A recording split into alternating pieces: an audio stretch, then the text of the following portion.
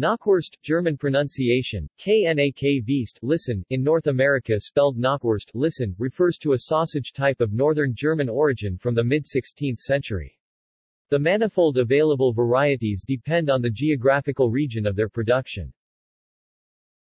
Knockwurst in the U.S.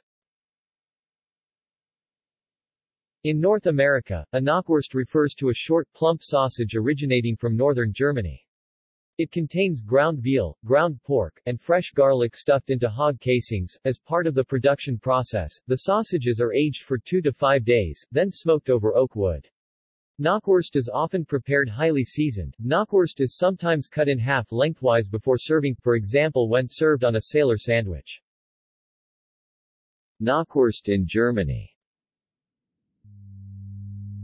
Numerous regional varieties of knockwurst exist in Germany. They all differ from knockwurst varieties sold in Austria. There, a knockwurst always refers to a sausage containing bacon and added potato starch. In addition to the term knockwurst, common names are Salzburger or Schübling. As a specialty in Hamburg, scalded knockwurst served with mustard and half a slice of white bread is a popular snack for lunch. It is also sold at the Hamburger Dom, the largest Volksfest in northern Germany, under various, sometimes poetic, names like Domnacker, Hamburger Knacker, or Hafenlümmel literally, harbor tyke. Etymology and pronunciation The German noun Knackwurst, which, in English, is sometimes corrupted as Knockwurst, comes from the German verb knacken, listen, to crack, or the adjective knackig, listen, crisp.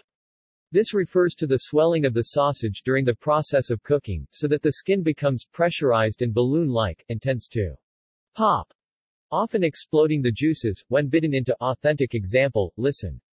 The term Knackwurst came up in Germany the middle of the 16th century.